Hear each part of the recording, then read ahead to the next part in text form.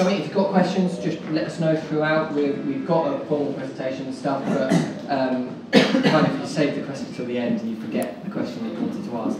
with HDR, there's such a lot of, it's so early on, people's understanding of it, everyone's understanding of it, even the big corporations and stuff is very small, um, and it's all still being sorted out, so there's a lot of questions. So if you've got any questions, just shout. Fire them as we go. The basic structure, we're going to do a talk on HDR. We're going to then do little questions and answer session. Then we're going to do a take talk on Atomos products, and then we'll stop for a hands-on. You can come and play with the stuff that we've got here, um, if you want to. Technical setup, which I didn't explain last in this morning's session. We've got the um, Canon DPV2420 monitor, which is a mouthful but it's their new 4K reference monitor. So it's a 22 gram monitor, something like that, but it's proper HDR specification reference, broadcast quality reference monitor for grading on set. So to see true HDR, this is this is why we've got it here, so that we can do side by side normal and HDR. Then we've got several, uh, oh sorry, the signal that's being fed into that is from this C300 over here, which I'll just zoom out to one, more like that. Um, so that is sending a C-Log2 signal into this, which is being looped out to be shown on here twice. And it's also being fed to that Shogun um, flame there. We've also got various other Shoguns and Atomos products to look at around. Cool. Over to you. Thank you very much. So, as Carl said, my name is Richard. I'm from Global Distribution. Uh, we're a distributor um, in the UK and EMEA wide. Um, we specialise in everything from acquisition uh, through to post-production and delivery and archive. Um, I've been in the industry for about 15 years. I'm by no means a colour scientist or anything, but HDR effectively is the biggest change in this industry for, for a generation. Um, so there's obviously, that's really the whole point of this presentation is to kind of demystify some of that technology and the terminology for you because um, it's really actually not that scary. Uh, and if anything, I believe HDR will actually be adopted by the industry far quicker than HD was. Uh, and hopefully this presentation will try and give you an understanding of why that is um, and really why you shouldn't shy away from it today. Um, it's something that really you should be thinking about. So in HDR, hopefully you can all kind of see the screen all right, and I don't intrude too much, but there's a, a, lot of terminology bounded around, a lot of acronyms and abbreviations and standards uh, that have kicked out. But the key thing really about HDR is it's about utilizing the dynamic range that's now available to us because of how screen technology has evolved. So if any of you here have shot log, hands up, you've all basically shot HDR, you've shot a high dynamic range in that log profile, and we'll, we'll talk about this in detail later. The key thing is, is we've been restricted by standards that have existed for a long, long time that haven't really evolved as quickly as camera technology or as um, screens have in recent years. So visible light is often the most defining factor in the images that we create and ultimately how we see them. So shortly I'll talk about the standards and how we've got to, but as a creative filmmaker, they are you know, really quite important to how the end result looks. So, you know, shooting log and, and, working with kind of high dynamic range, and we all see high dynamic range with our eyes in the real world. But as we've been looking at things on, on TV, we've been bound by uh, these standards that have restricted us. So, key thing I would like to point out about HDR, it's not another 3D. It's a very, very important fact that 3D really came about at a time when you know, studios were struggling to get people into cinemas. They needed a new way, something else to charge a higher ticket price and all that kind of thing. 3D technology was relatively old, just wrapped up in a new package and resold to you because it was easier to kind of do that. But as we've seen this year at shows like CES in Las Vegas, the big technology show, a lot of TV manufacturers have now dropped 3D altogether. It's kind of disappearing off the radar. They're not interested in not developing it anymore because it's not really taken off from a consumer perspective. It's really been limited to use in the cinema. HDR is very different to that because it applies to HD, 4K, future resolutions like 8K because we're talking about how we handle visible light and luminance within an image. So let's talk a little bit about kind of where we've come from and how we've looked at uh, um, TVs. So we've got CRT technology, we moved to rear projection. Everyone always remembers how expensive plasma TVs when they came out in the, in the 90s. Um, LCD, LED, We've moved to OLED technology to kind of improve contrast ratios and things like that. Um, and obviously quantum dot technology. And you can see here how the standards have related to that. So REC 601, so REC is the recommended standard. Um, so 601 was the SDTV for standard definition. REC 709 obviously has come around with this advent of kind of plasma and LCD, LED generations. Uh, and that's really what we know today. That's the standard that we're all very aware of. It's the HDTV spec, REC 709. Now, probably lesser known is REC 2020. So REC 2020 really came along at this kind of LED onward kind of stage. Um, and if we move to the next slide, oh, not that one. Um, come to it later. Um, so really this is then where things have changed. Everything up to this point has been governed by a set kind of luminance value um, that's kind of restricted how we view and deliver content. REC 2020 changed that and has started to increase this luminance limit. So basically the point is REC 709 is not enough. We've been restricted by it for so many years, you know, um, and REC 2020 and REC 2100, which I'll talk about later, has really opened this up. It's conformed new recommended standards that are very future-proof, um, and the key implementation with this is, is HDR and this higher dynamic range to actually gain the technology that's out there in these screens, this brightness, this luminance value that screens are now capable of, to actually deliver uh, a piece of content that's much more engaging by showing this wider dynamic, higher dynamic range. The problem we have today is there are screens out there that are three, four, 500 nit, etc., our phones, our tablets, etc. But all these brightness capabilities are being used for at the moment is purely to show that image in more ambient light environments. So say I go outside, I want to be able to turn the brightness on my phone up so I can see the screen properly. If I'm watching TV with the curtains open, I still want to be able to see it. It's just turning up that brightness. It's not actually giving me anything else. It's showing me the same image, but it's just showing it brighter. So HDR is really uh, a revolution beyond resolution. And this is a very important message because we're talking about a change to luminance and the way that we see dynamic range as a result. Um, and that is not bound by a specific resolution. Ever since we went from analog film and we went to digital, we went to SD, to HD, to 4K, 8K will come, future resolutions I'm sure will also uh, be upon us. HDR is irrespective of that, it doesn't matter what it is, it doesn't matter on the resolution.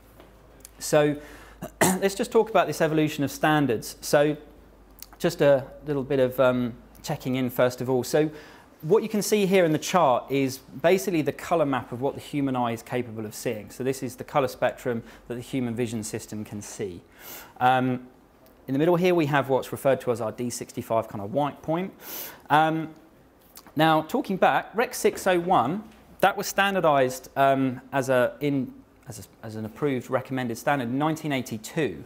Now, REC 709 came along in 1990, so eight years later. REC 709 is still predominantly what we're using today. So this is very, very, very old standards. REC 2020 was approved in 2012, but probably most of you haven't heard of it or certainly don't really know anything about it. And it really came along, as the earlier slide showed, to incorporate the technology that Ultra HD TVs were now starting to utilize. So a key thing here is about the color spaces um, that these standards use. Because these standards define resolution, frame rate, the color gamut, the color resolution, and the color bit depth. So all these elements that make up the image that we see on a screen, these standards are, are setting um, the specifications for that. Now, if I look at REC 601, it's this kind of grey dotted line here, so I'll just point it out so you can all see it. REC 709 is that little dotted line just around it. So it's a very marginal change.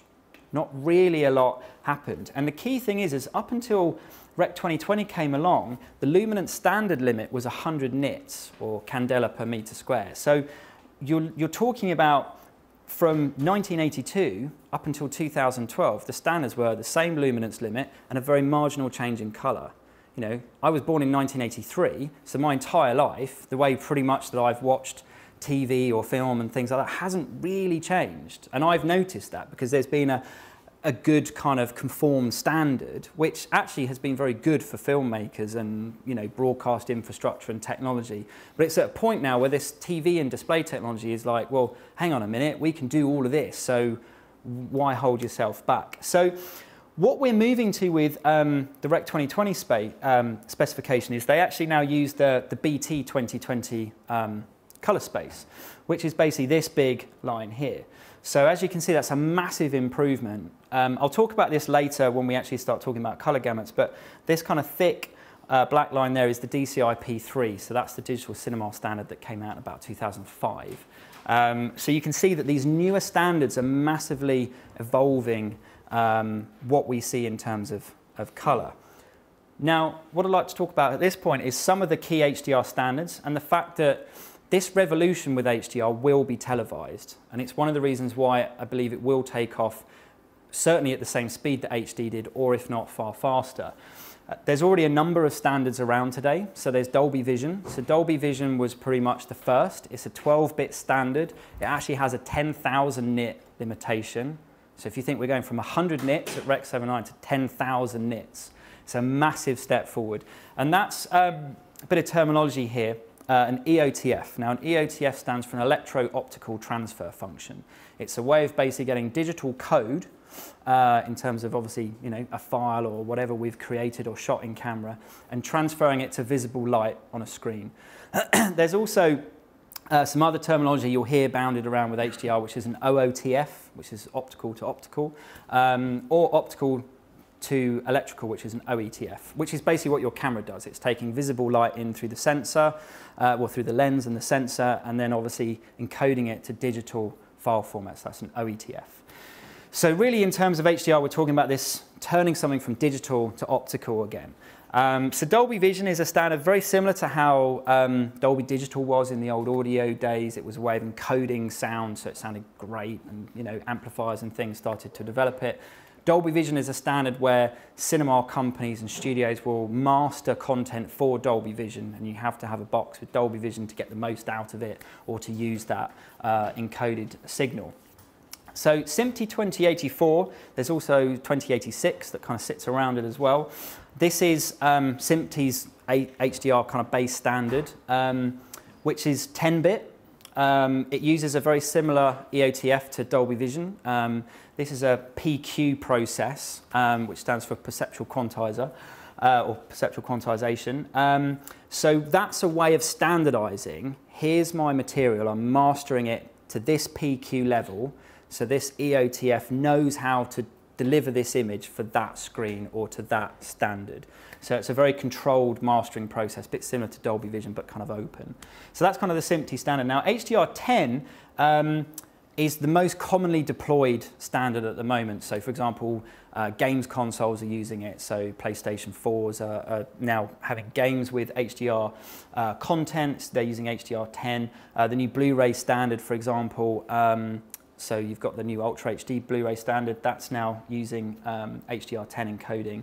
Um, so again, it's using this PQ EOTF, uh, and it's using the Rec 2020 um, kind of standards uh, around that. So hybrid log gamma is um, one of the newer standards and is actually probably going to be the most relevant certainly for broadcast. So hybrid log gamma was, um, or HLG as it's often referred to, was designed by um, the BBC in the UK and, and NHK in Japan. So kind of two of the biggest kind of broadcasters from a technological perspective have got together and said, right, we need an HDR standard that works for live broadcast and everyday use and to deal with the fact that people might not have HDR TVs. What do we do? We don't want to have to deliver mastered content because then we've got to deliver all these different kind of standards like you know, PQ1000, all these different kind of versions.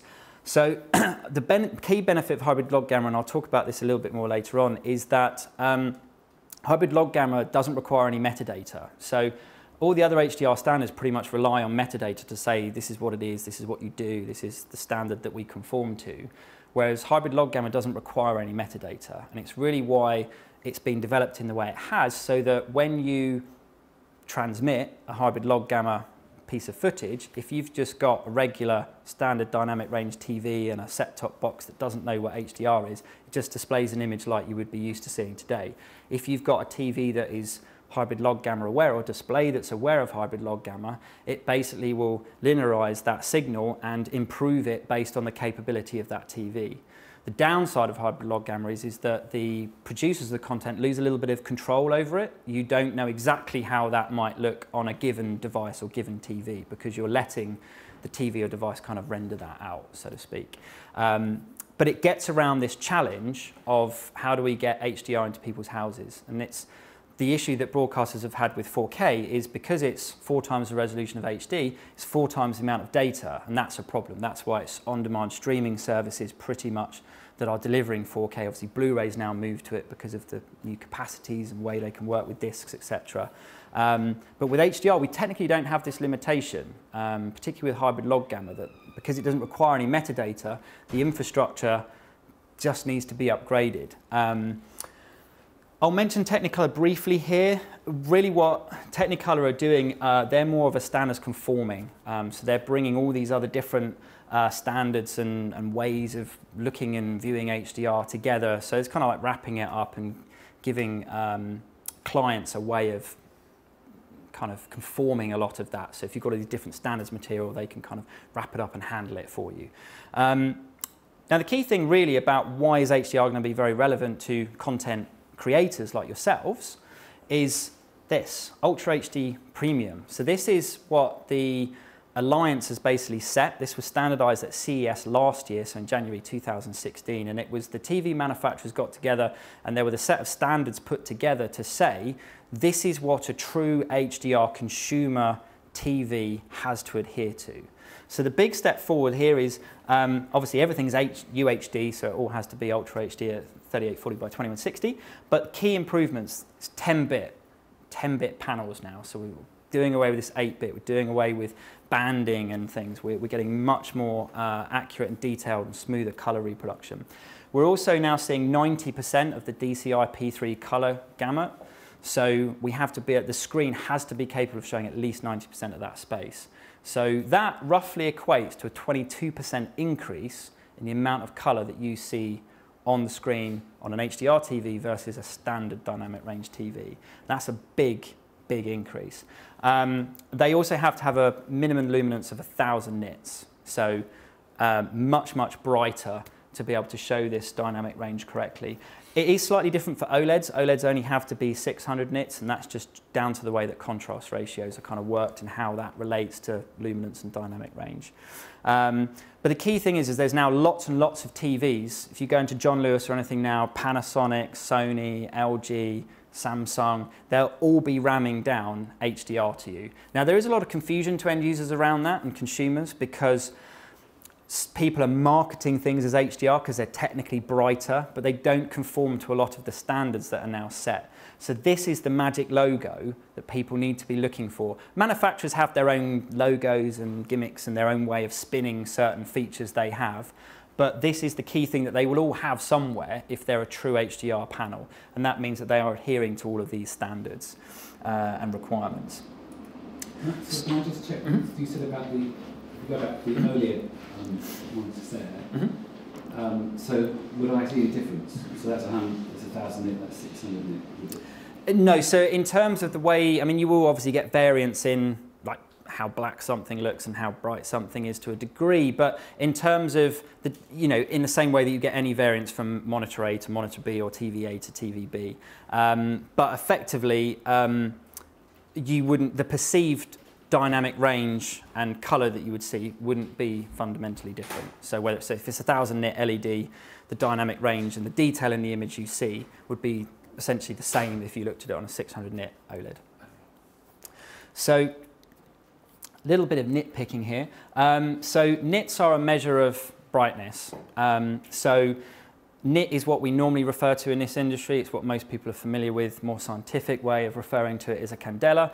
One nit equals one CDM squared.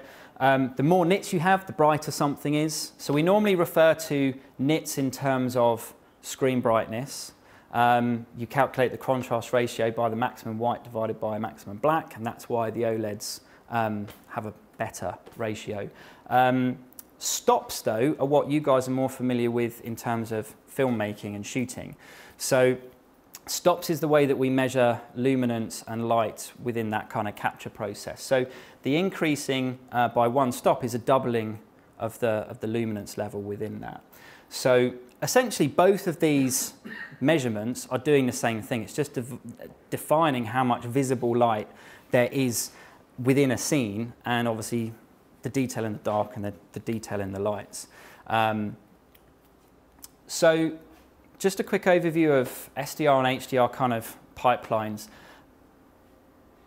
In an SDR workflow, you know, we're starting here with the actual scene that we see with our kind of human eye, we see all of the color and all of the contrast and all of the dynamic range with that. And in a current standard dynamic range pipeline, we're actually capturing most of that from a camera. I'll touch on this later on, but you know, camera sensors are immensely capable. I mean, most camera sensors are normally around 10 stops or more. You know, a lot of cameras are 14, 15, 16 plus stops of dynamic range. So we're capturing all of this dynamic range already. Our eyes are capable of seeing circa 20 stops of dynamic range. At any one time, you're realistically talking about about 14 stops that the human eye can see because you know we're quite adjustable. So if we're looking at a very very bright light, we actually kind of crush dynamic range elsewhere to compensate for the fact that something else is very bright. Um, but as we go through this post-production process, you can see here we're actually still keeping a lot of this dynamic range, a lot of this information, the color, the contrast, the luminance, uh, is being maintained. And it's only at the point when we start to get down to distribution where we're having to conform to these delivery standards, to these recommended ways that screens are adhering to with this brightness and color limitations. And that's where we're just basically losing everything at the point that it gets to the screen we watch it on. And that's why colorists earn an awful lot of money doing very good color grading to take that compromise of what we saw here and captured and actually delivering it to us as something that still looks pretty decent. Um, you know, it's a very complex post-production process, and you guys probably have a lot of experience with shooting with log and working with LUTs and grading this and having that kind of debate in post-production of, you know, where are my compromises going to be? And ultimately, we're then seeing all of this reduced. So we're, but we're used to it. You know, we're used to seeing something on a screen and have done for a very long time that isn't the same as what we see with our, our eyes naturally. Um, but that's the difference with HDR because what we're now getting with HDR is we're still working with this very similar capture process, but all the way through post-production, mastering and distribution, we're not having to throw any of that away. And then when we get to distribution as well, again, we're not making those compromises. So the end result with HDR is you end up with some creative content that looks very, very similar to what our eyes naturally saw. Now that doesn't mean we can't stylize it and we can't you know, put our own take on it, you know, that's still a post-production process of how we can manipulate things. But we're not having to compromise dynamic range. We're not having to crush out detail in the blacks or blow out the highlights. You know, we can kind of keep much more of that image with HDR. Um, which is a key point to make again about how from a, from a viewer's point of view, it doesn't matter what I'm looking at this on, whether it's my something that's like a small five or seven inch screen, or whether it's a 50 inch screen or whatever. You know, that perception of the dynamic range, the color information, and all of that kind of stuff is just as relevant. You know, if I'm stood at the back of the room there and I'm looking at this monitor, which is 4K, it doesn't make any difference to me whether it's 4K or HD at that distance. So we'll, we'll talk about that in a little bit more detail shortly. So kind of what I'm going to go through now is really HDR is one element of really what we all want, which is to create better pixels. We want what we shoot just to look as good as possible, and we always want to try and make it look better and better. So high dynamic range is a thing that's really kind of unleashing this and, and kind of letting go with the market, which is, which is why it will be adopted um, very quickly. So, you know, it incorporates wider color gamuts. So this whole fact that HDR TVs and displays will be able to show us more color detail. Um, bit depths, we're moving from 8-bit to 10-bit. You know, there are cameras we can capture 12-bit. You know, post-production we can work with 16-bit, etc. Um, resolutions, so we've been going from HD to, well, SD to HD to 4K, 8K is coming along. So these are the kind of the four key elements that basically determine how good an image looks. So HDR is only kind of one aspect of that. Now I'm going to talk about resolution first, uh, and there's a tie-in here with frame rates as well. So just a quick recap of, I'm sure, everything you know. We came from SD and digital. We went to HD. HD went from 720 to 1080. Most broadcasts are still 720 and just upscaled to 1080. That's why when you watch the same film on TV and then you watch the same thing on a Blu-ray, the Blu-ray looks a bit better because it's actually, I mean, compressions and things aside, it's actually a true 1080p image rather than 720, you know, upscaled and then delivered to you in an interlace format. You know, 4K is this um, UHD TV1 spec. Um, UHD 2, TV2, is 8K. That's not that far away. That's roadmap for around 2020. So in around three, four years, TVs are going to go 8K and Ultra HD Phase 2 will come in. Um, so yeah, so this is the evolution of uh, resolution. Now, what I was kind of alluding to earlier is this. Uh, now this chart here, um, this really just kind of summarizes uh, just some of the formats um, in terms of resolution and frame rates that the various standards have used. But what I really want to talk about is the, what this chart here, and that's spatial resolution. That resolution is only relative to where you stand to that. So this chart here is basically based on um, NHK research as to at what point do certain resolutions become viable. So in terms of distance, if we say that we sit you know, half a meter or so away from a screen, you know, it doesn't actually matter what resolution that, that, you know, how big that is at say 20 inches. So the point is, if we start looking at the average person has maybe a 40 inch, you know, 32, 42 inch TV. That's kind of the average HD TV size um, that people have. Now, if I sit two meters away from that, HD looks absolutely fine. So if I've got a 40 inch TV, yeah, you know, it's, uh, it's, it's kind of worth it. But if I start to sit closer to that, only at that point does 4K become relevant in the same size because my eyes can't resolve the extra resolution at that distance, which is why you'll find that most uh, Ultra HD 4K TVs are actually massive because you know if people are sitting two meters away from them if it's 30 inches it's completely pointless their eyes won't see the difference you know when you move to a um, like a 50 or 60 inch TV, suddenly that's a much bigger screen. The resolution, my eyes can realize the difference and perceive that, uh, and, it, and it's beneficial. So this drive, it's the main reason why, you know, most people, if you ask them who have a 4K TV, did you buy a 4K TV because it was 4K? They probably didn't. They bought it because it was thinner, lighter, had better sound, it fits on the wall nicer. You know, maybe it is a better picture, but not in 4K, but in HD. They just liked the look of the TV. You know, most people bought an HD TV because of the digital switchover. You know, it's these kind of things that have driven this move, whereas HDR is really going to be giving people um, a reason to buy a new TV because they will realize the difference that they can see in the image. Um, the other thing that's important to talk about with resolution is the effect of frame rates on that. So we're very used to say 25p, and 24p for film and 30p and whatever uh, in America. So that's kind of the standard. We're used to shooting stuff for say 1080 p25. Happy with that. If anyone's here shot 4K, hands up, and you've shot presumably at 25p, you probably noticed that if you shot the same scene it doesn't look as smooth as the HD. If you shoot an HD version and then a 4K version, the 4K one just looks a little bit more juddery if you've got a lot of moving content going on. And that's basically because when you're moving something across the screen, you've got twice as many pixels to move it across. So a good example here is if you have a vertical line exposed for one frame and you want to kind of move it from the left to the right, it would take you on a full 1080p, 60 frames a second, it would take 32 seconds for that line to move smoothly with no blurring to the human eye to see. So if I do that same, same test at the same frame rate on 4K at 60p, it's going to take twice as long. It's going to take 64 seconds for that to go across rather than 32. So technically what I'd need to do is double the frame rate. So that's why there's a big drive now in the second section of the UHD TV spec to actually put 4K P50, 4K P60. It's why people like Atomos are driving with their newer products to do 10-bit 422 recording at 4K P50 and 4K P60 because that gives you the same smoothness as your 1080p 25. So that's why these high frame rates that people will now be starting to talk about, and certainly cameras going forward are going to be driving to increase the frame rate. It's not necessarily for this super slow motion, you know, shooting a high frame rate and slowing it down for natural slow-mo. Part of it's going to be to give you that smoother image at these higher resolutions. So it's kind of important to, to be aware of the relationship between frame rate and resolution as we grow.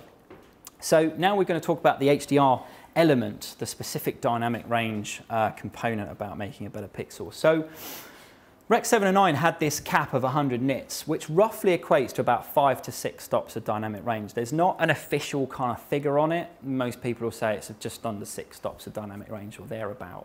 Um, so that's the amount of dynamic range we were seeing. Basically, anything above that was just like a hard clipping point. It just, you know, all highlight detail just went. There was nothing there.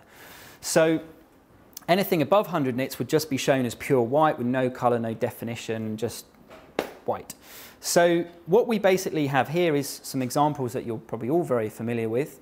If we're shooting for Rec 79 here, very typical scene, we have the choice if we want to expose the, uh, the subjects, the talent correctly, um, but a compromise of that is we're going to completely blow out all of the detail in the background. So other ways we want to get all the detail, you know, in the sky, in a sunset and things like that, but sacrifice of that to get that correct, we're going to crush and lose all of the detail in the low lights as well. And that's just this compromise we're making with dynamic range. So what we've all done, as a number of you said you do, is you'll shoot log. So log is basically a compression of the luminance to fit all of that dynamic range into the image. So here we can see the sea, we can see the, the kind of windsurfers and their kites and whatever, and you know you can see the sky and the sun. The details all there. But in the way that a logarithmic curve works, is it's in that compression. It's it's desaturating the image, and and you get that flat, washed out look to it. Um, which is what you need to then do in post-production. But as you know, when you go into post-production, you're still working to this Rec 709 limit, so you've got a grade within that. And that's where um, monitors have got very advanced. So what we can actually look at here is this image at the moment is this is an HDR image and this is a SDR image. So you can see the same scene. What Carl's now just done is put the Rec 709, the, the SDR image, he's used the capability of the screen just to pump up the brightness of that. So really what we're looking at here is that the previous version of this image, this looked very, very flat and dull. And that's technically because that was official SDR 100 nit standard. What we've now done is this is a 1200 nit screen. So this is showing a true HDR image. This is just showing a Rec 709 image turned up to 1200 nits. So it's just brighter. And this is what TVs have done for a long time. So if you go into a TV shop now, they're kind of falsely selling you a little bit the difference because you know, if I flick that back to the, the, the, previous scene, so I'll get Carl to come back. You know the magic of this Canon monitor. I've never used it before. So if we just change that one back to the uh, official SDR, um, what TVs have got very good at over the years is, is using this brightness just to make SDR content look a bit better and more vivid. But in essence, based on the Rec 709 standard, that is what it actually is. And that's where this is representing such a massive difference because we're now not using this to give you a false impression. We're using this HDR technology to give you the best out of the image, to make things look much more natural. It's not necessarily about making something look brighter, and I'll come to this later on. Uh, HDR is actually just about giving you a much more natural, much more engaging image where you don't make the compromise between your details in your lowlights and the details in your highlights. You can kind of maintain what looks like a natural image. So Rec 2100 is the new standard. So I've mentioned Rec 2020 earlier. That's been around for you know over four years now. Rec 2100 is very new. This was standardized in just July of last year. And what 2100 basically does is it was uh, pretty much Rec 2020, but it's got additions which are very much focused around HDR. So it's incorporating both this new hybrid log gamma standard and PQ. So it's, in, it's bringing in hybrid log gamma now as well, which didn't really exist when Rec 2020 came around. It's setting the, the benchmark at 1,000 nit luminance, which is the same as Rec 2020, uh, which is effectively giving you 10 plus stops of dynamic range. It's using the BT 2020 color space, so again, same as Rec 2020.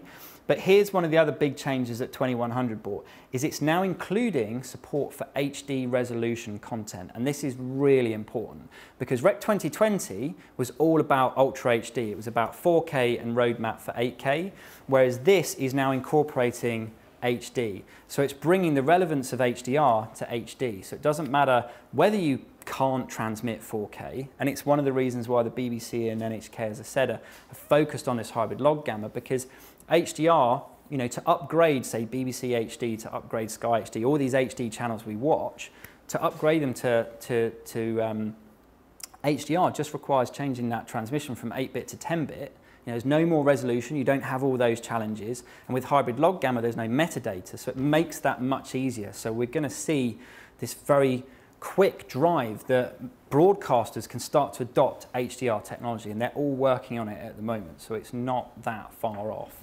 Um, there's also this big change here. So uh, Rec 2100 now supports frame rates up to 120 frames a second.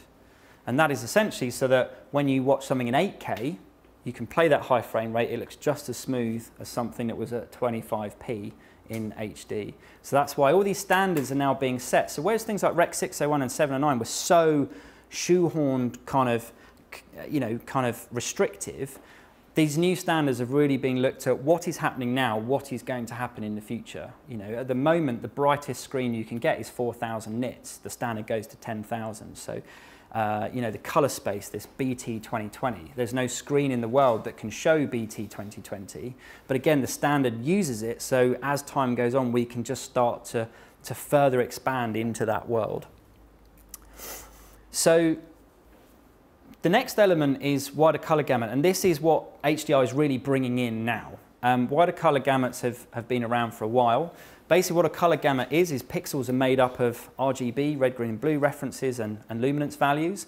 And a gamut just basically plots those colors against how we see it in terms of spaces. Um, so basically, the wider the color gamut you've got, the more color detail you're capturing and the more information you've got to creatively play with to, to get your artistic impression across. So color gamut standards, um, you know, Rec 601, uh, the SDTV, as you can see, kind of uh, tucked away kind of in the middle.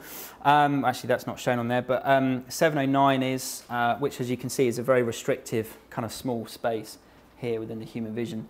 Um, DCI P3 um, is really the one to kind of talk about here because as I said earlier on, the UHD premium specification says a screen has to be capable of showing 90% of that kind of space.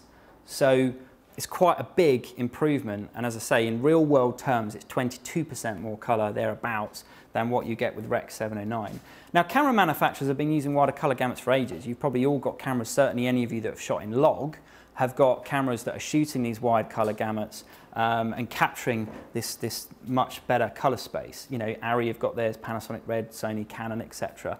Uh, and they've been around for a while. And just to give you an idea of, of what they are, in terms of um, the human vision and what we can actually see, Rec 709 only covers 33% of the color that we can actually see with our eyes. You know, DCI P3 is going up to 45%. So, you know, it's quite a big um, quite a big increase. Rec 2020, this kind of benchmark that we're setting ourselves is you know, nearly 67% of what we can see. So something that's important to point out off the back of that is something called Pointer's gamma. So this was um, some research done at the start of the 80s, uh, kind of finished at the start of the 80s, which was really determining um, what is actually naturally occurring colour. So what, what colour actually occurs in the real world through reflective light uh, that we can capture. And that's basically what Pointer's gamut plots out, and that's this squiggly line here. So as you can see, BT 2020 is much bigger than that. So what that means is everything outside of here that BT 2020 could show, and in fact the human eye can see, isn't naturally occurring colour. It's man-made, it's artificial, it's not real. So this is quite an important thing of, of this drive that if we're showing 90% of that DCI P3, you know, DCI P3 is 86% of Pointer's gamma. So we're getting very close now with HDR TVs and displays to actually show you what the human eye is capable of seeing that is naturally occurring in the real world. Everything else is man-made. So, you know, VFX artists over the years and, you know, sci-fi films and that kind of thing will, will benefit massively from this further expanse. But regular programming actually won't massively much because, you know, the color doesn't actually naturally occur. So you can also see here in terms of Pointer's gamut, cameras that you might be using, so Sony S Gamut 3 covers 100% of what is naturally occurring colour. You know, other colour gamuts are just under that. Um, so we're actually already in camera able to capture a huge amount. And this is you know, one of the reasons why camera sensors are so advanced and why Rec 709 has held us back for so many years. So if we look at chromacity and a colour gamut as a 2D space, so if we now put that human vision down there as a plot on our colour space there, what we do is that's great that we've got these extra colours, but the other benefit that HDR brings to these wider colour gamuts is its colour volume. So if we look at this now in a three-dimensional space, when we go up to 100 nits, yes, I've got all this color volume in there. So that's all the, you know, the way that that color looks in terms of luminance, in terms of brightness. Now that I'm moving up to 1,000 nits and ultimately, hopefully up to 10,000 nits, it's basically like pumping up that volume. So not only do you see a color, but you start to see all the subtleties and the luminance detail within that. So, you know, as you start to get highlights in a scene, not only do you see uh, the color of that coming out, but you're seeing all of the different detail. And the, the, the real world results of this is that HDR is giving you an image that looks far more three-dimensional and natural. You're still looking at a 2D image, but things suddenly have form and curve. Uh, and you know, you're kind of not you're not limited to this, what we're used to with Rec 709 of things looking a bit flat. It looks like you're watching something on a TV. And it's one of the reasons that 3D will be dying off as well, because you don't have to put stupid glasses on for something to look much more engaging and have much more depth to it. The fact that you've got this increased color space and volume will just naturally help an image become more three-dimensional and look much more detailed um, and lifelike. So highlight areas don't just become bright as they do when you pump up Rec 709, they become more detailed. There's more information in there, which, which ultimately gives you um, a lot better creativity uh, from a filmmaker's perspective. So just a final, fit for finish off on this, you've got the bit depth. Um, so everything up to HDR was an 8-bit delivery. We're now moving to 10-bit deliverables um, which is great because we've had 10-bit sensors in cameras for ages. Um, you know, people like Atomos have had 10-bit recording from cameras, so even if your camera can't do 10-bit, but the sensor's 10-bit, we can record that, etc. Um, what's essentially happening with, with the bit depth and the way it's sampling is that obviously 10-bit gives you a much smoother color reproduction. So you don't, finally with HDR we can say the end to banding um, within images. I mean compression makes that a lot worse because if you've got banding naturally in the image because it's 8-bit, you'll then, because uh, you've got the stepping in the colors, um, when you then compress that, that massively amplifies that. So if you start off with something that doesn't have visible banding in it, and then you compress it, you still end up with a far better looking image at the end of it. So the difference between 8-bit and 10-bit is effectively the best part of a billion color iterations. So it's a huge, huge difference, uh, moving from 8-bit at you know, 16, 17 million colors, moving up to 10-bit, um, which is over a billion colors. Um, so we're not throwing away any of those um, in, uh, color information. Now the thing to point out with HD is HD is really designed to be a 10-bit pipeline. So the one knock-on effect you should think about with camera choice is actually getting a camera that has a 10-bit sensor. Because at the moment, to my knowledge, there's not any standardization set to say for HDR production, it has to be a 10-bit camera. In the same way that for HD, they say you've got to use these codecs and it has to be 50 megabits per second or whatever um, to, to, to be approved for broadcast. At the moment, I don't believe that exists for HDR, whether it does or not, because it's arguable that yes, you should really have a 10-bit acquisition source, but HDR can apply to an 8-bit sensor. You, to be honest, the Alpha 7S is probably one of the easiest cameras to get an amazing HDR image out of um, so e quickly and easily because it's such a good low light sensor um, that it, and it's got S-Log3 on it and things like that. You can get some very, very good images out of it, but it's an 8-bit sensor. So, you know, you will get some banding and obviously you're not able to sample this, you know, wide color gamuts um, quite so accurately. So HDR today, there's a lot of it. It's very, very easy to get. Netflix have got well over 600 hours. I mean, that's quite an old fact, so I'm sure that's significantly higher now. Uh, Amazon, again, all their new content, all their flagship shows, you know, Jeremy Clarkson's new Grand Tour, good example, all shot 4K HDR deliverables. YouTube now, um, late last year, they've upgraded. So all of us could now go out, make a film this afternoon, go back, edit it, cut it, do it for HDR, upload it to YouTube. Anyone buying a new TV, everything's smart now. You've got YouTube built in. People can just watch that content in HDR.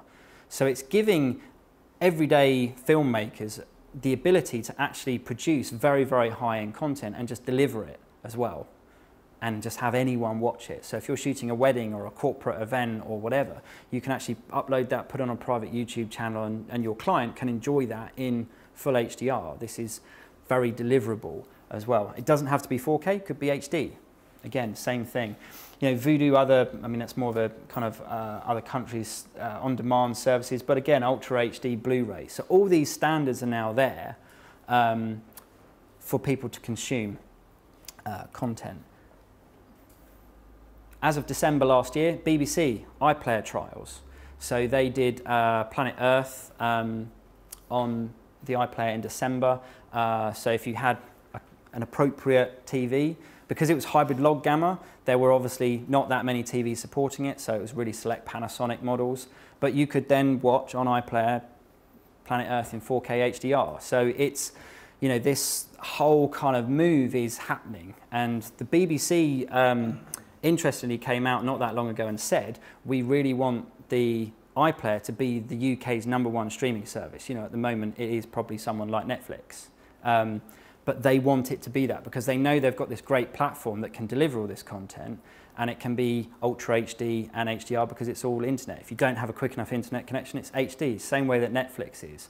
You know, why the BBC haven't cottoned onto this sooner, I don't know, um, but it's this perfect platform for it. But beyond this, hybrid log gamma really opens this up for traditional over-the-air broadcast to also start moving to, uh, you know, Sky have now come out and also said within, I think, the next year they're going to start offering subscription services without a satellite dish. So it will again use your IP connection and things like that just to deliver normal HD programming and things like that as well. So the way that broadcast is happening is changing and the benefit for HDR is, is the challenges faced by all of these people aren't there in the way that 4K was because of resolution and bandwidths and infrastructure, metadata. Um, so it is going to be a very deliverable format. So that is the background on what HDR is. Um, the next section will really talk in a little bit more about what your camera does, what Atomos do, how that works together, and really how you guys as filmmakers today can actually start shooting and being aware of HDR or using HDR tools to even get a better SDR delivery. But at this stage, are there any questions on anything so far? Not at all. There we go. On then, I guess. Brilliant. Yeah. So, why should you shoot for HDR today? So, key thing is if you're shooting log already, I've mentioned you're already shooting high dynamic range, you just maybe aren't doing some things that you should do for HDR. Like you might be underexposing the image, you might have quite a noisy image, you're not pushing the image as far as you are, as you, as you could or should, and that's because you know, you're used to how that image translates to Rec 709. You put a LUT on it and go, oh crikey, that's blowing out, pull that back. Or you're following current guidelines about how to expose log. You know, Sony say, uh, you know, S-log2 I think is exposed white around 58% and you expose S-log3 white at around 52%. You know, it's quite low. Lots of people say S-log3 is noisy um, and that's because when you shoot log, your noise level is that and then if you let some light in, your noise level is the same because it's native ISO of the log. If you let more light in, your noise level stays the same, so your noise floor drops. So actually overexposing log beyond what they say you should is actually better for you. And that's why most people will tell you to expose log maybe another stop or stop and a half above where say the camera manufacturer says to do it. But you then start to get into that kind of slightly guesswork territory. You've got to have an appropriate LUT or you've got to just look at the log image and your waveform and just kind of assume that it's okay. Um, this is an example of what happens when you Yeah. put a normal Rec 709 LUT on log footage, is that normally it will look overexposed. going to blow out if you're correctly exposing your log. if you're exposing the log like there, that's a very nice exposure. That looks great. But if I put that in HDR or I properly grade the log for SDR, it's probably a bit underexposed. You'll get a bit more noise than you would do. Oh, that's the focus zoom in. If you'd exposed it there. So really with log today, you've probably just not realised the full potential of the log file you've been recording. So the other key thing is you probably don't need to buy a new camera. You know, with HD, oh God, God, I can't buy a new camera. My SD cameras, my whatever cameras aren't relevant. Got to go HD. Again, 4K came along. Oh, I've got to buy a new camera. With HDR, even if you've got an HD camera like C100 or something like that, shoots log, um, you can film for HDR. You know, if you have a Sony FS5, FS7, C300, whatever it might be, you can now shoot for, for HDR. The only limitation is whether you've got 4K camera or not. But then most people that have shot 4K anyway have been shooting 4K really for two reasons. Either to future-proof that content for repurposing down the line, but you've delivered an HD now, or you're shooting 4K to do a crop. So it's just, I don't have to worry about my framing so much, just shoot all of you and I'll just sort this all out in post. Or you're using it for very specific post-production effects. That's the main reason that people have been doing 4K. A lot of reality TV, for example, with PTZ cameras, all using 4K cameras, but they're taking multiple HD footage out of that. So I could point one 4K camera at you, take four HD feeds out or multiple HD feeds out, and I've got a shot of you, you, you, and you, all happily from one camera. You know, those are the benefits. So with going HDR, providing your camera does log, don't need to buy a new camera. You just need to see how to expose correctly. So shooting for HDR as well also gives you better SDR deliveries. And this goes back to what I was just saying about the noise level. So, you know, if I'm exposing my log where the camera manufacturer says I should for normal Rec 709 delivery, my noise is much more apparent because the amount of light in there and the noise level is, is at a high ratio. If I let more light in there exposing for higher dynamic range, I have the same noise level, so I have a much cleaner image. And all I'm doing, normally if I shoot log, I'm just making this compromise to six stops of dynamic range. So I'm just moving that around, crushing out my blacks, blowing out some highlights, getting the bits I want. Obviously a professional colorist will do far more jiggery pokery around that to get even more out of the image um, by compressing different planes and things like that. But when you get to HDR, if I've exposed my log up here for HDR and I'm still delivering for Rec 709, all I do is I still make the same compromise. You just might not put your same LUT on it that you did before because that will look overexposed. But if you create a new LUT or modify your LUT, um, or just if you're doing a custom grade, you'll just crush out more of that darks to get the highlight area that you want, you know, and then make that compromise of what you let blow out. So you, you're not doing anything different. So for HDR, you're still recording the same log file that you record today for SDR. You're just exposing it differently to get the most out of it.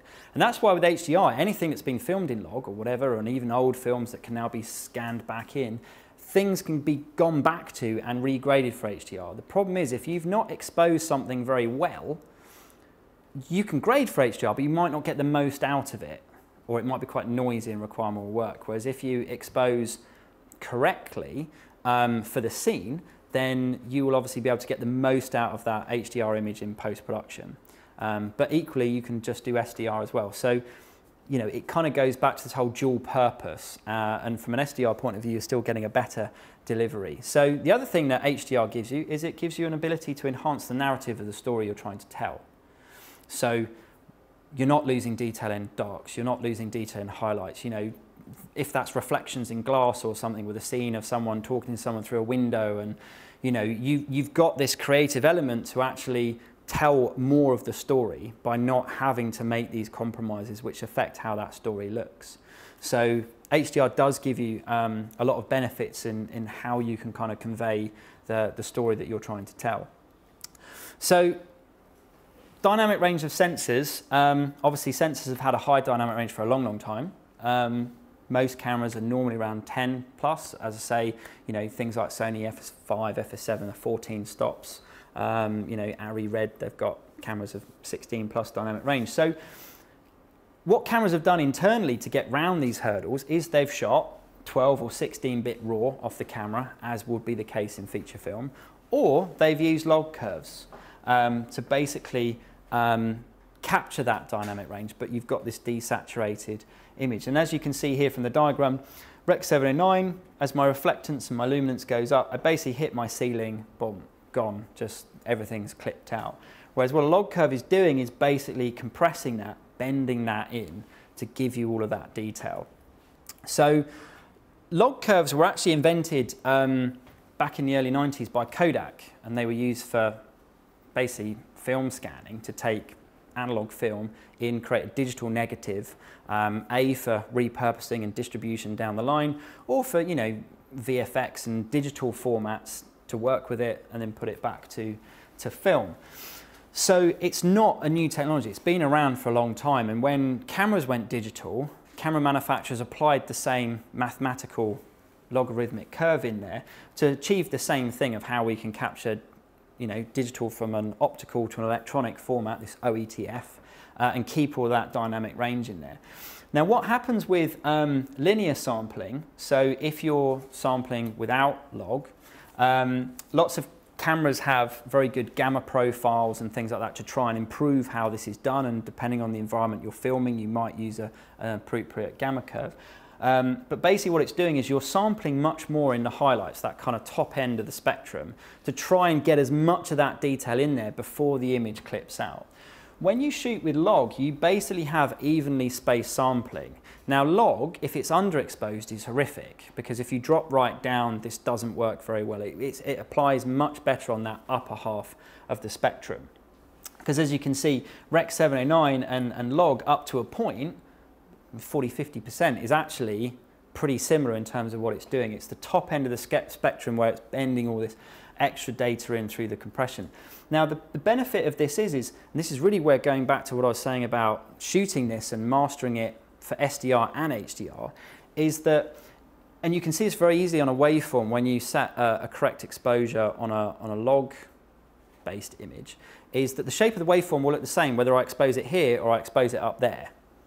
That the shape of the waveform, the contrast information, say if you were filming my face, that would look exactly the same exposed here as here. The shape, the contrast detail on my face, it's just one would have more luminance, more brightness in it, and one wouldn't. The problem is when you're just looking at a flat log image and you start to make it brighter, just starts to look very difficult to see what you're actually doing. So then you put a LUT on it, but a LUT is based on Rec 709 technology. So people have often put uh, a LUT to look at the highlights and then a LUT to look at the lowlights, and you're kind of flicking between them, and it's always still a little bit of a guessing game to a degree, but it certainly adds a lot of complexity to working on set.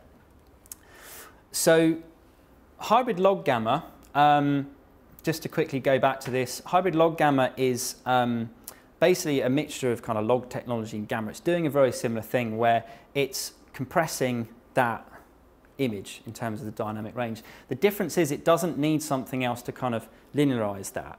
What it does is when you, if you plug a, um, an hybrid log gamma input into a standard dynamic TV, it just looks normal. It kind of looks like a normal gamma profile with a knee applied to it to kind of fit it in. If you put it onto an HDR TV, it will basically linearize that to just scale it out. And like I say, the benefit of HLG is it does that depending on the capability of the television. So if I've got a 1000 nit TV, it does it based on 1000 nit. If a 2000 nit TV comes out, it does it based on 2000 nit. It keeps scaling.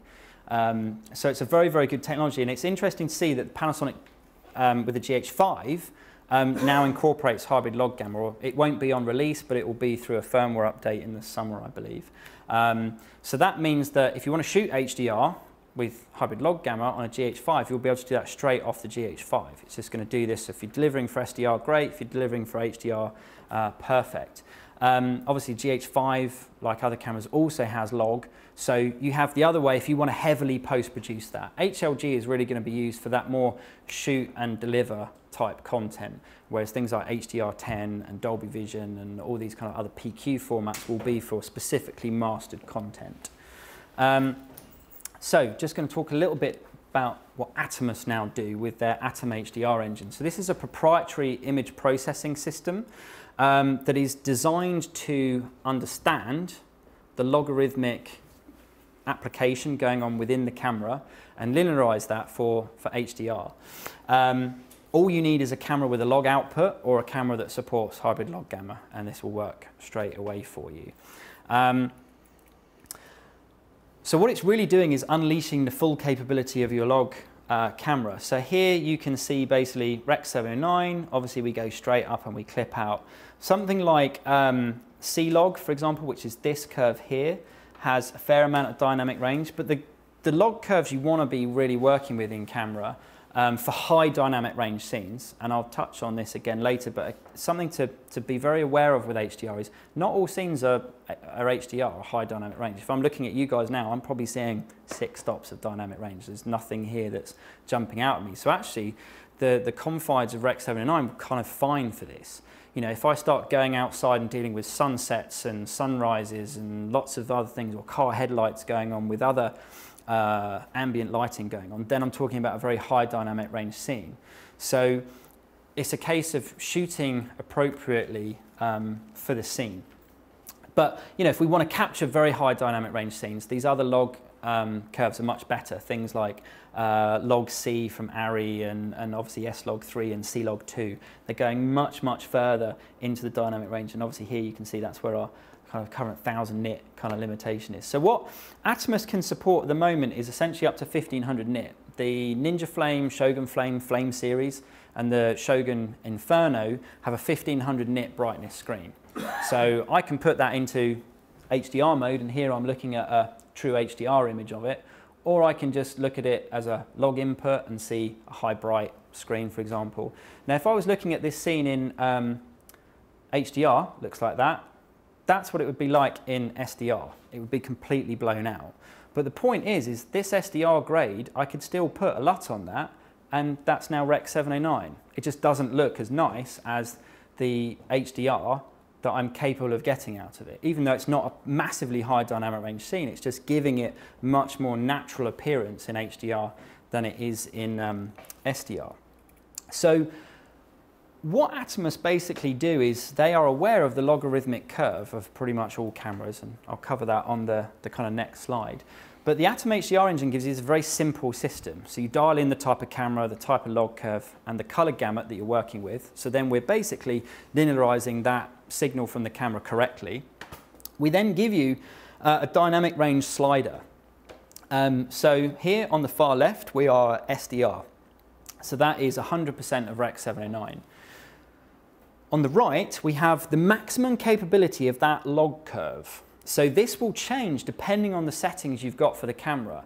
So this slider goes further if I'm say shooting log C or I'm shooting S log 3 than if I was shooting like S log because it's dependent on the curve uh, that we're working with from the camera. I can move this in half stop increments. So the nice thing is, is going back to what I was saying earlier right at the start about nits and stops. So we have this 100% of Rec 709. So this value of where we are, say, from a deliverable kind of standard. And on the right, we're seeing our acquisition, what we're talking about, what we're seeing in, with our eyes in terms of dynamic range and stops. So if I move this here to 400%, so I've moved it two stops, 400% Rec 709, you can see that with my image here, I'm clipping out all of this data in the waveform above this line. And Atomos have this dynamic waveform. You can view it in a traditional waveform way, and it will scale. But rather than our waveform going from 0 to 100, it will go to a much higher value dependent on this capability of the dynamic range of the, the log curve. So what I'm doing here, as I've now moved this with slog2 to now uh, two stops of dynamic range, you can suddenly see that in the image, a lot of the detail in the sky and the sea has suddenly come back in. Like the kite here is pretty much exposed on its own. I can't see any detail around it. Now, with just going two stops of dynamic range above Rec 709, I can suddenly see all this detail coming back in my image. If I go to the full capability of the log curve, you can see here that here the, the, the highlights around the sun are clipping out. Here you can see that my whole waveform, everything the camera sensor data is capturing, is contained within my new HDR ceiling. And as you can see, the scene starts to look much more natural again, and I'm seeing the full detail. It's like taking the log image I had earlier, which normally I'd make this compromise to going into Rec 709. It's taking that and it's keeping all of that detail. Now, it's important to point out that a lot of colorists have got quite good at grading an image to keep all of the dynamic range in the scene, but you get slightly washed out, faded. The blacks aren't particularly that rich. And actually, stylistically, it's become quite common now. You can watch a lot of TV programming that has a bit of a log vibe to it, and that's because people have got so used to seeing the dynamic range, they don't want to lose it. With HDR, you're looking at that same sort of image, but um, kind of like Carl was showing in the monitor there, it just starts to pop out. The blacks are still deep, they're still rich and vibrant. You haven't had to lift them to maintain the dynamic range and the highlights, etc. So this Atom HDR engine is incredibly simple. You have this very easy to use slider that just allows you to view the log image depending on the scene with the full dynamic range capabilities. We also have an auto HDR button, which essentially what that does, it analyzes the log curve and works out how much dynamic range there is in that scene based on that curve, and it will set your slider at the appropriate place. The other way of using it is you just move the slider until what you're looking at on the screen is pretty much what you're seeing with your eyes. That's supposed to be the simple, intuitive way. So you're effectively shooting what you see for the first time rather than shooting and seeing a compromise and working around that compromise. Got a situation where you um, need to just send it off straight away, can you record that look into the automation? No, so it's not. So that's really where hybrid log gamma comes in. So if you were to shoot something uh, with hybrid log gamma, then when you pump that into something that understands hybrid log gamma, it's just ready to go. One of the things that Atomos are looking at, it's not officially announced or committed, is lots of people are asking for it. It's like an auto HDR button, uh, sort of thing. So that basically in the way that we export metadata for tagging like favorite, reject, and marker points within a clip is actually to export on a clip basis. This was the color gamut, this is how it should look. So almost in the same way that you apply a LUT, it's kind of like, uh, here's the settings of what you shot and how it is. So when you put it into post, you drop that info in and you don't have to go into Resolve or you know whatever you're grading in and start setting it to that point. It's kind of like a starting platform in the same way because HDR isn't a LUT. It's it's essentially doing um, a similar sort of, what Atom HDR is doing a similar thing to what a LUT does, um, but HDR and the Atom HDR engine isn't a LUT. Um, but yeah, so at the moment there's not. You would have to load that footage in and then start to grade it. There are some good tools online actually now. There's some people making some sort of conversion tools. So you can like take an existing LUT and load it in and it basically extracts all the chromacity detail and you set a new luminance value and then it just conforms that. So then when you go into HDR post-production, you can kind of drop those looks and things that you're used to kind of in. Um, so you've got that kind of stylization, so you don't have to start all that from scratch. Uh, and then you can just start to grade around with your uh, luminance. But the key thing with HDR is, is actually the grading process becomes much simpler because you're not, the reason that colorists and grading um, is so intensive is because you're making these massive compromises throughout the process, which you need to be pretty skilled at doing to do well. Um, otherwise, it's really just a stylistic thing of how do you want something to look and how do you make certain bits of the image pop. With HDR, that's much easier because it will just naturally start to pop if it's been filmed correctly. And then it's just a case of stylizing it in the appropriate chromatic ways um, or um, literally just pulling out this section or pulling that section back, etc. So just kind of tweaking it to how you see. So maybe lifting the blacks a little bit, or you might want to crush away the blacks a little bit. So you can still do that with HDR grading. So for the Atom HDR engine to work, all you need is you just one of those cameras. Um, so Blackmagic, they don't share their logarithmic curve data, so we can't support that. Um, but Sony, Panasonic, Canon, JVC, Arri, Red, and Fuji have now added it on their new X-T2 um, camera.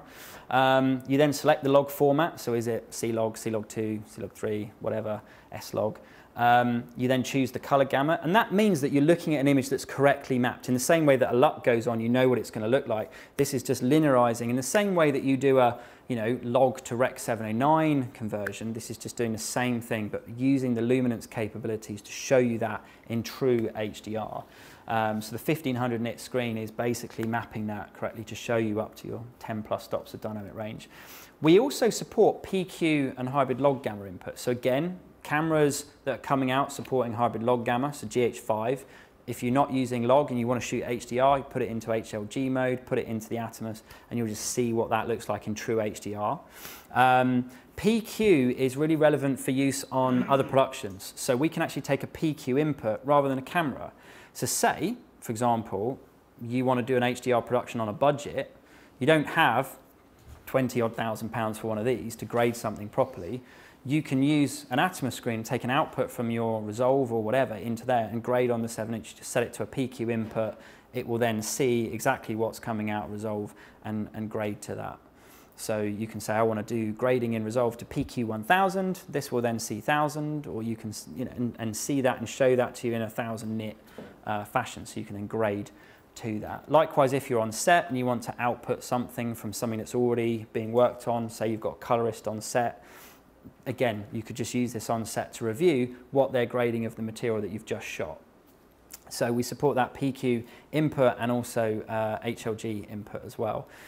So we also integrate with other HDR workflows as well. So we have this PQ output. So I can output PQ from my recorder to another HDR monitor. So if I'm on set and I'm coming straight off a camera into my recorder, but the producer director wants to see it, and he does happen to have one of these, then we can pump through to that and we can do a translation. So we say uh, PQ to this standard, so 1000 nits, 1500 nit, this is 1200 nits, so we can set it to that. We then select the color space you want to see it at. You know, I might be coming from a Canon camera, so I'm shooting a, uh, a BT 2020 or I'm shooting a Cine, you know, uh, a Canon Cine Gamma or an S-Log Cine Gamma. What I can do is I can then convert that to DCI P3 or BT 2020, so it's going to remap the colors correctly to what I want to work with. Um, so all of those capabilities are built in. And again, we have hybrid log gamma output as well. So if you then want to output to see what that would look like in hybrid log gamma, so you're not working with a camera that is hybrid log gamma, you're working with a camera that's log, you know, Canon, Sony, whatever, and then you want to just convert that to a hybrid log gamma output, the Atom HDR engine will do all of this inside. So it's an incredibly powerful tool um, that really just integrates with everything. So just to recap, I kind of touched on this lightly earlier, but remember that HDR isn't just about an overall increase in brightness. It's about the detail that that brightness gives you, the, the detail in the lowlights and the highlights. And not everything that you shoot will require high dynamic range. So, you know, this is uh, an image courtesy of Dolby that kind of highlights in the real world how bright certain things are when you look at them. So, you know, in terms of how bright that yellow would look to your eyes, it's around 14,000 nits. It's very, very bright. Um, you know, if you were to look at the sun, that's something like 6 billion nits or something in daylight. It's, it's incredibly bright.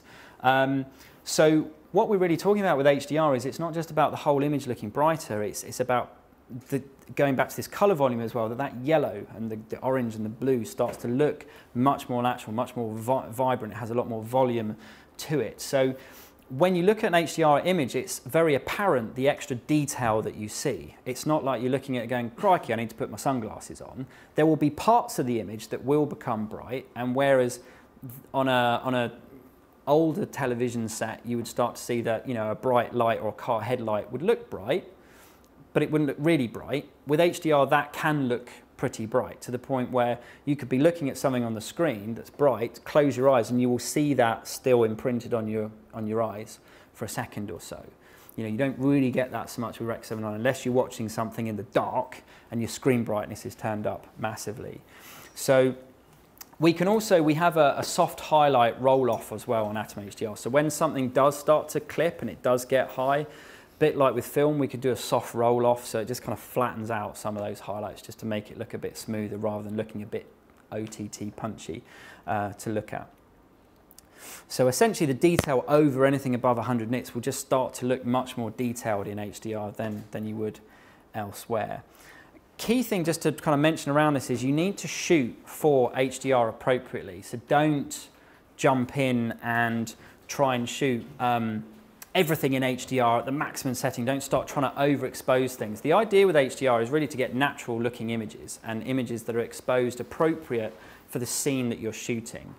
Um, so that's kind of a key thing that I like to remember and I'll touch on this here. So things to consider with HDR is, you know, DPs and colorists are probably going to start working closer together.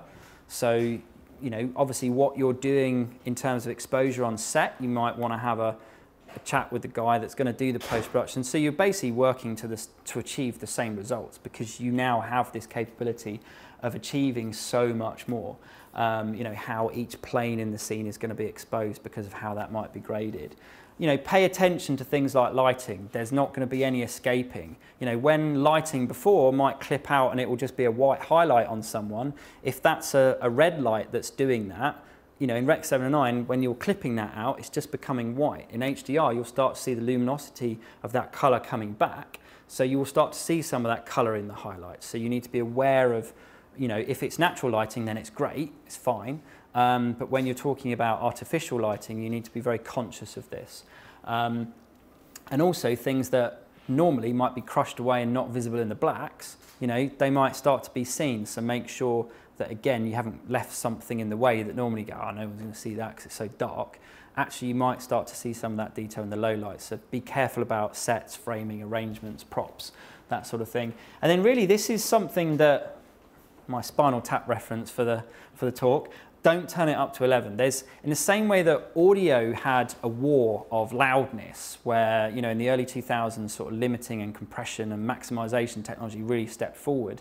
And it was all about my record needs to sound louder than their record. And with HDR, there is a danger that people will artificially start trying to pump up this brightness rather than using it to enhance the image and the storytelling they'll be using it to artificially pull things out and, and make them pop Current displays will struggle with that. You can get haloing and things like that around very bright parts of the image because although we're talking about screens that are high nittage, they're not able to show the whole screen at that full brightness all the time. It's elements of the image um, are high brightness, other elements are, uh, are not. So when you start artificially pumping up parts of the image, you can get various issues with that. But also, in the same way that HDR photography is very different to HDR video, HDR photography was about two exposures so that basically you have the capability to, to grade around that to get a very dynamic looking image. The problem with HDR photography is, is often looks very unnatural um, and obviously there's the limitations of, well, if it's printed, you can't have a print in HDR and screens they're viewed on are not HDR and things like that.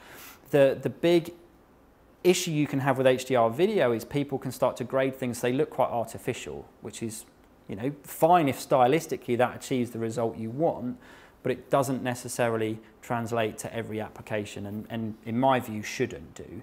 You know, HDR is there to really enhance the image and make it look more natural and ultimately therefore much more engaging and enjoyable to watch. Um, so those are the things really that you have to be careful of with HDR and that is pretty much it. Okay, well, thank you very much, Richard. Um, have we got any questions before we wrap up? If, if you if you've shot something in HDR, mm -hmm. but you haven't actually got an HDR monitor to grade on, yep. what, what are the limitations? So this actually is the, the biggest stumbling block with moving to an HDR workflow. So it's great that you've got a camera. If you buy an Atomos, you can then, I mean, you don't have to have the Atomos to shoot for HDR. You can just shoot, log, and grade it. It's just a question of you want to make sure you're getting the best out of your log image to do that. Um, the problem comes in post-production. That's one of the reasons why Atomos put the PQ in. So you can basically use that with your grading software to grade on that and see what it would look like in HDR. Or you obviously have to pay to go to a colorist. And most, certainly all the main ones, people that own one of these, um, or you know, Sony have the, the BVM, they're really the only two proper reference broadcast spec kind of HDR monitors. There's this Canon one and Sony have their BVM 300, but they're both over 20 grand. Dolby have a range, but you can't commercially buy those. You have to have the special handshake Dolby and know this, that, and the other to do it. You know, Dolby have a new theatre in London with a laser projection cinema, which is absolutely stunning. Um, and they're using that as a facility to hire out to people to come and do their cinema grades there and to do all their high-end HDR grades there. Because this is the key thing that with HDR, going back to it coming forward, is that, you know, it's where we're leapfrogging that visit to the cinema. So cinemas, yes, they can move to laser projectors and do all this stuff, but are they going to do that quickly? The cost of doing it is so expensive, and they've probably not long recently upgraded their projectors because of 3D and all this, that, and the other. there's not the revenue there to immediately do it. You know, some of the big ones, people like, you know, you kind of IMAX style, that kind of caliber, there will be some boutique cinemas, I'm sure, that will start to do this, but the mass market won't. So from a producer point of view, unless you go to a post house that can do it, you are limited that you can't grade it properly because you don't have a proper reference monitor. Yes, you could go and buy a TV for 1200 quid and do it on that, um, but it's big and it's not reference and official, but you, you could do it. It's Um, not colour accurate, it'll get you the brightness Yeah. levels. So for, so for the average production house that is Hmm. probably shooting most of its stuff on 1080p today, hmm. uh, the, the use of HDR is a, is a little bit more kind of theoretical today than it is Well, practical. Yes and no. Yeah. I mean, it it is definitely the stumbling block. It's the hurdle. But in current HDR production, everything else is sorted apart from how do you grade it, how do you actually look at it in your post suite. There, we are starting to see things like you can use one of the Atomos products. You can have one of these and grade on a little seven-inch monitor, or you can. There are products like BenQ have got a new HDR grading monitor that's just been released. Which is seven hundred pounds or something like that. So I mean, now we're talking money which you can actually put in your grading suite. And I would have thought over the next year, that's where you'll start to see some of these more affordable. Yes, they're not going to be as good as that, but it's no different to how people for HD TV now are grade. They're not grading on tens of thousands of pound monitors. They're grading on stuff that's you know a thousand pounds or fifteen hundred quid or something like that. So there's a range of Yeah. colouring suites. So there's the high-end colouring suites who are grading your top-end Netflix shows, your feature films, and yes, they're all on 20, 30 grand monitors. But there's also your average, like I imagine you guys, every most nearly all of our customers, the average small um, edit suite at home, say, where you've got a couple of monitors there. At the moment, that's the, the bit. It, nothing it is kind of begs the question that, that as Atomos can produce a screen at seven inches that will Hmm. do the job, whether it couldn't uh, produce um, uh, a reference grading monitor slightly larger at a, a sensible price. Certainly nothing Atomos have ever done before. no.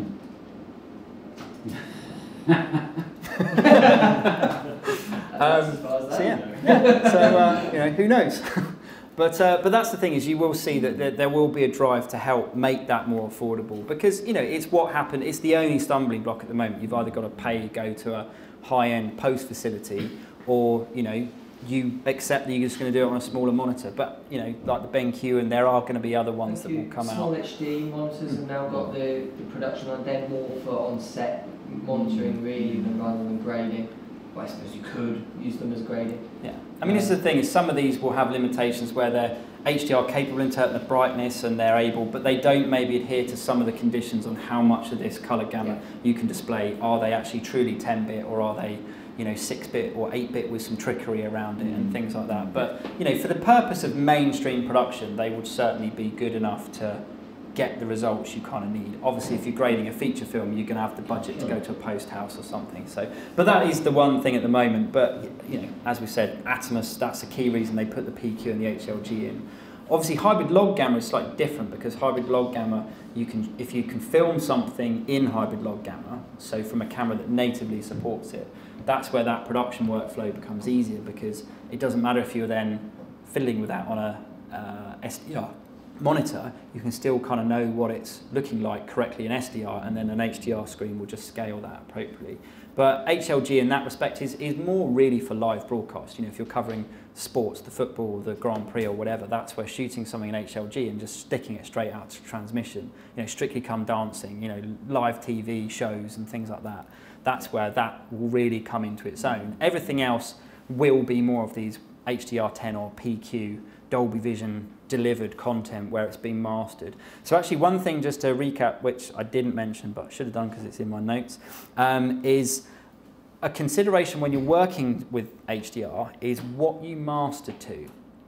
So whereas traditionally you would might have edited in a certain format uh, and then mastered to you know, Rec 709 or, or whatever, and with HDR there's the temptation to master to uh, HLG or master to PQ 1000 or master for Dolby Vision or whatever.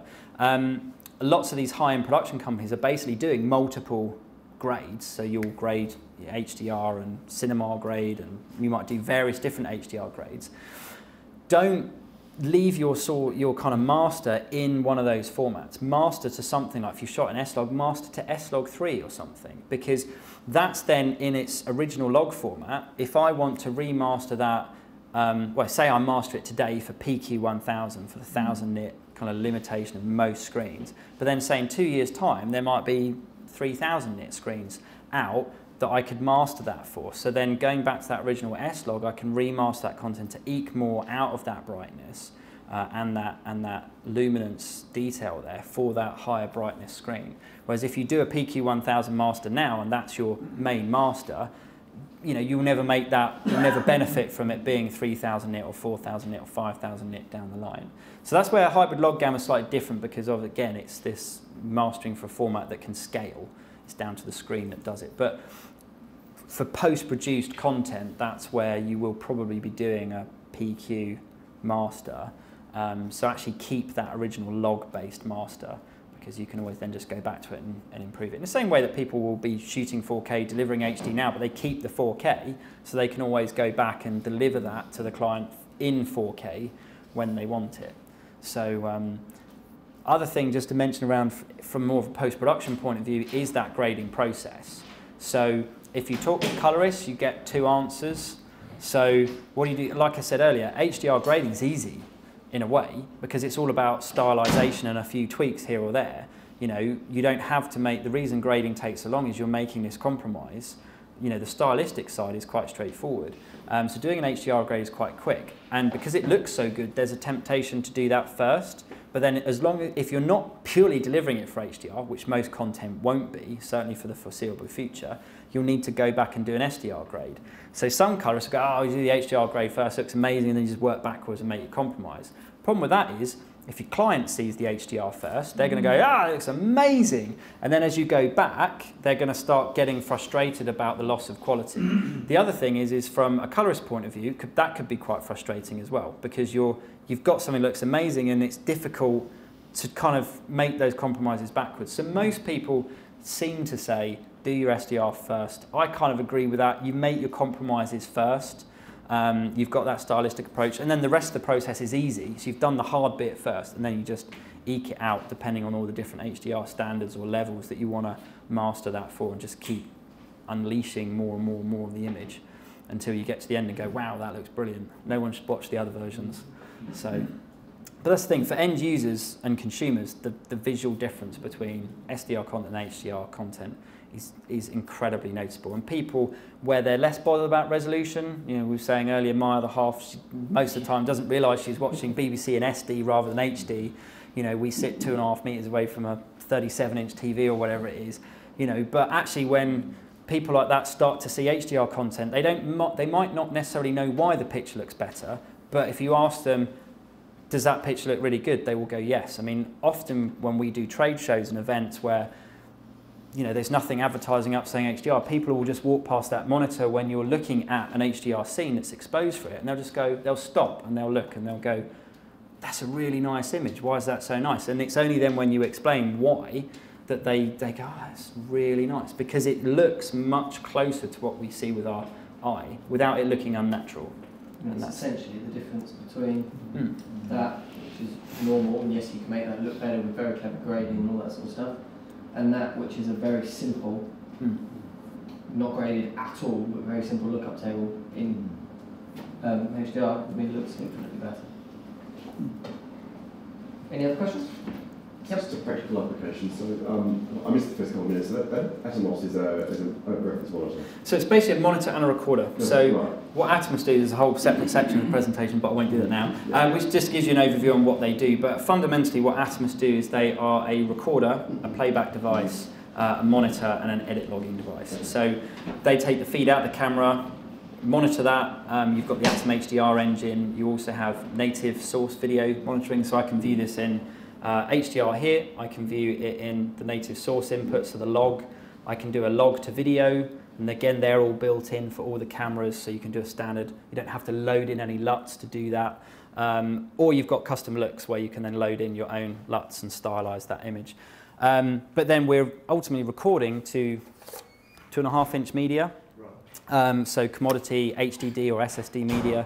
Um, and we encode in real time to Apple ProRes or Avid DNX codecs, so 10-bit 422. So again, if you've got, say, a camera with an internal bit depth or color sampling or resolution issue, so a lot of 4K cameras on the budget side, for example, are 4K, but they'll record it as 8-bit 420. The sensor is, like FS5, good example, is a 12-bit 14-stop dynamic range sensor, but 4K it records as 8-bit 420. Um, if you you know, come out over that on HDMI, you get 8-bit 422, but if you put the RAW upgrade on it, you then get 12-bit RAW out, so then you can come into one of our recorders and get 12-bit RAW, or you can get 10-bit 422 ProRes or DNX, so you're kind of bypassing limitations within the camera. And then we give you playback and metadata tagging. Really, it's designed to be one tool that helps you expose, frame, uh, and focus correctly, uh, give you all of those tools that you'd normally get from a monitor, but then also be your recorder to give you a, you know, ProRes and DNX are the standard for post-production, Final Cut and Adobe and Avid, they're built around these codecs. They want those codecs. It's a bigger file, but it's optimized. So the computer has to do less work to actually process it. So it's less CPU intensive. And ultimately, the highest quality settings, they're visually lossless. You know, all video cameras use um, compression technology that's ultimately derived from what we use for delivery. So they're all MPEG, essentially derived compression technologies, um, which are a brilliant codecs, but they're delivery codecs. They're for taking an image, compressing it, and making it look great on face value. But in doing that, they add artifacts because it's what was around for TV, DVD, Blu-ray, streaming services, web, all that kind of stuff. So when you get into post-production and you start working with those files, you get artifacts, you get banding, you get, you know, it's like having a JPEG and a RAW.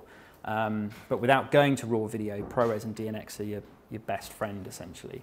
Um, so yes, that's basically what Atomos do. So we're a company to be brief, which is we a 4K show, 50p in HDR, and we have a Sony FS7 Mark I. Mm-hmm. What do we need to so basically, basically, do you what frame rates do you? So it's in HD up it's to 10 UHD, you- uh, UHD, UHD. 50p. Yeah. So 50p, basically, what you would, what I would recommend you do, um, ideally, if you have the XDCA on your FS7, the, which is the extension pack, Okay. uh, product, the Shogun Inferno, Mhm. um, basically will then take the raw output from the FS7 via the XDCA, and you can then record that as 4K P50 or 4K P60 ProRes. Um, and obviously you've got all the HDR monitoring within that, so then you can expose that correctly for that. So that's perfect setup. I mean, that's the thing is that camera then, you know, becomes immensely capable. If you Yeah. don't have the XDCA, we could do everything up to 4K P30, but not 4K P50. Right. Does the Mark, FS7 Mark II change that?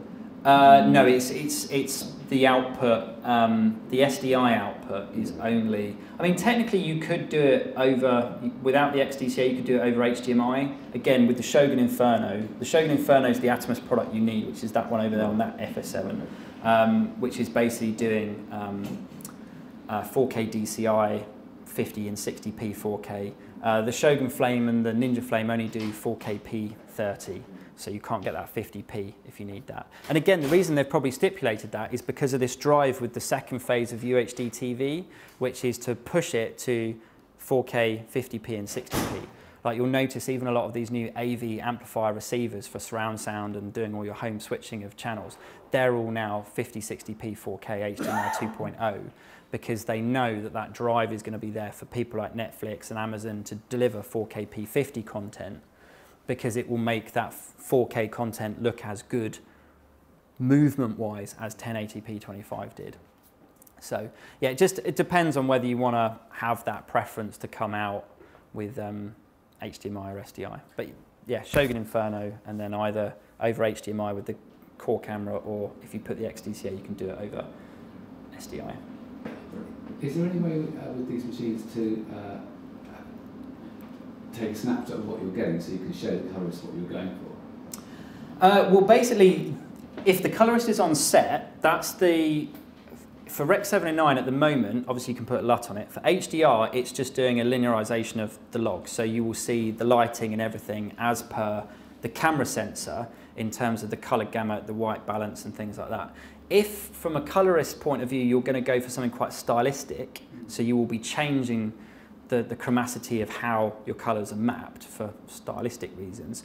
At the moment, there's not a capability to do that. Atomos are looking at within the Atom HDR engine to basically put that ability in there. So effectively, it's like adding a LUT in there.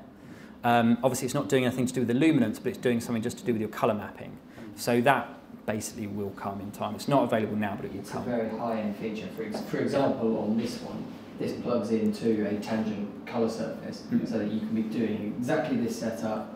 We can have it in um, full screen mode obviously, and I can have a colour touch surface down here, be grading it live and saving that grade onto a USB stick for reference. I And you can basically grade on set there Yeah. and send that back to the colorist. Now, of course, that's Yeah. that's high end Yeah. So Atomos can then support Um, that through doing an output. So from the camera, you go into your Atomos recording, you look at what the camera's seeing, Yeah. you output that PQ or pass that through to here, and then that monitor then has the plug-in for, for grading it on set and having a look at that. So high-end productions would probably do that. Um, obviously, lower-end productions wouldn't be able to afford to do that, which is really why Atomos are working on this interjection of you know, chromaticity changes within the Atom HDR to load in. Okay, well this is great what the camera's doing, but I want to do this to make it look like this old film stock or this have this look to it stylistically, and then load that change in. Um, because it's And that would be metadata or? yeah, it would essentially be in the same way that a LUT is. I mean, the other thing that Atomos have been asked about is this kind of like magic HDR button. Um, so that, you know, here it's great that if I come into my HDR engine and I'm looking at how that looks, you know, with my dynamic range slider set where it is and obviously the right color gamuts and things, when I go back to post and I load the footage in, you know, that's what I see. I see the original log footage, so I then have to load in settings or grade my way to the point that I was at. So what Atomos are also looking at doing is doing this kind of like export of each shot setting. So your, you know, here is your reference metadata for the dynamic range of that scene for uh, you know the color gamut that was used. So again, when you go into post, a bit like Carl was just saying on here, you can save that to a USB stick and go off. You know, with here, it's saved onto the drive with your footage in the same way that our XML data for you know good, bad, overexposure, color correction, bad audio kind of metadata is. You can then um, load that in uh, to your NLE and your DaVinci or whatever you're grading in and go, here's my start. This is what I was shooting on set. And then at that point, you can go, right, well, I want to make these changes in terms of stylistic look. So, so those kind of features will come. Um, it's just the implementation of how they do it and how it's imported and things like that. But yeah, essentially, it's, it's just metadata. So it's kind of easy to add. Anything else? No? Okay, well, thank you very much, Richard. Aaron?